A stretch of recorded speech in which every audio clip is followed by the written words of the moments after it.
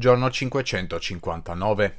Molte delle notizie di oggi vengono dalla direzione di Tokmak. Cominciamo con le nuove informazioni disponibili sul recente sfondamento delle difese russe a sud di Robotine. Come detto in precedenza, i russi hanno sfruttato la geografia locale per creare una fortezza formidabile su una collina che gli ucraini hanno faticato a catturare per diverso tempo. Video rilasciati di recente dai combattenti della quindicesima brigata mostrano l'assalto a queste trincee e fortificazioni e fonti russe riportano che questo improvviso successo è avvenuto grazie al fatto che gli ucraini hanno atteso che i russi conducessero una rotazione e fossero quindi estremamente vulnerabili. Ciò nonostante, anche i più prominenti analisti russi hanno continuato a credere che i russi fossero presenti nelle periferie a sud di Robotine e non permettessero agli ucraini di entrare nel villaggio.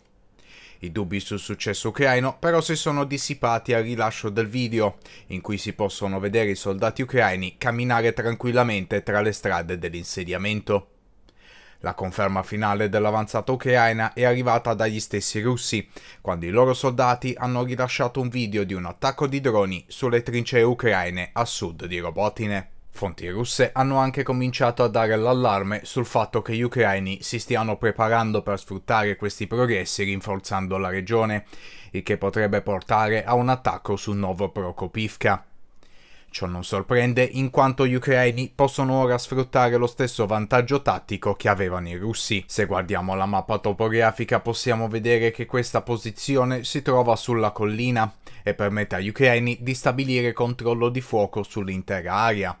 Ed ecco perché i russi hanno immediatamente contrattaccato.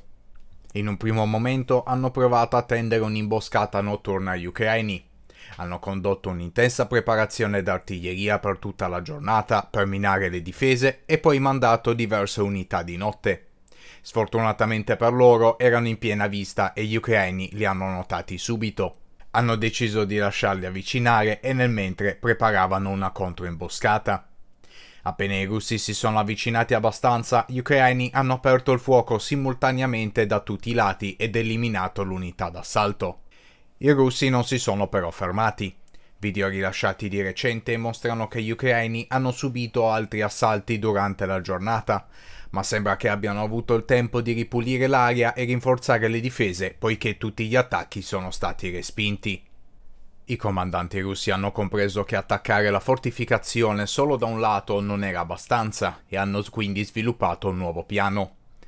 Questa volta hanno deciso di attaccare gli ucraini da due lati, da ovest e nuovamente da sud. L'obiettivo principale era quello di tagliare i rifornimenti e rinforzi alla fortificazione e idealmente dividere le forze ucraine in due gruppi. I russi sono riusciti a entrare nel villaggio e a mettere a rischio di accerchiamento le forze ucraine a sud, ma il giornalista di guerra russo ha aggiornato immediatamente sulla situazione dicendo che gli ucraini avevano rinforzato Robotine. Gli ucraini hanno infatti eliminato l'attacco russo ai fianchi, effettuando un attacco ai fianchi. È stato rilasciato poi un video che mostra la situazione dopo la battaglia. Il mitragliere di un Max Pro ha dichiarato che se non fosse stato per l'affidabile corazzatura del veicolo avrebbe ricevuto almeno tre colpi diretti alla testa. Il Max Pro è anche sopravvissuto a un colpo diretto di un RPG e il suo essere ancora operabile ha permesso all'attacco di continuare, ed è oltretutto riuscito a tornare alla base senza bisogno di essere recuperato.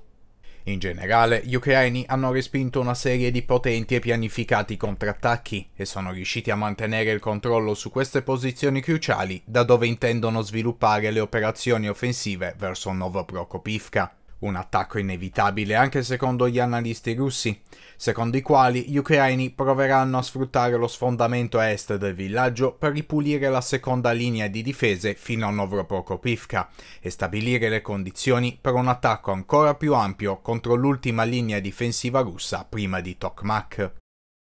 Se siete contro l'invasione dell'Ucraina e volete supportare il nostro lavoro, potete fare acquisti nel nostro negozio ufficiale. Qui potete trovare numerosi prodotti riportanti i simboli ucraini per mostrare il vostro supporto al canale e per l'Ucraina. Potete trovare il link in descrizione. Grazie per l'ascolto, anche per oggi è tutto e vi do appuntamento al prossimo video.